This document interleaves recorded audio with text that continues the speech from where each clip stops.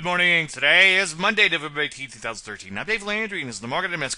Well, pizza had a decent day in here, banging out all-time high so far. So good. Continue to break out from this recent consolidation. Let's take a look at the Nasdaq. It too continue to rally, a little bit less vigor, but still banged out multi-year highs nonetheless. As I said recently, it continues to rally out of a double top knockout formation. A lot of areas at or near new highs, conglomerates, durables, non-durables, drugs, health services, transports. The list goes on and on. So far, so good. So what do we do? Looks like it's a yellow clear, right? Well, let's wait for setups before getting too excited. Manage your existing positions. Look to take partial profits as offered and trail those stops higher. In our next pullback, we should see a plethora of setups. Any questions? As usual, Dave at DaveLandry.com.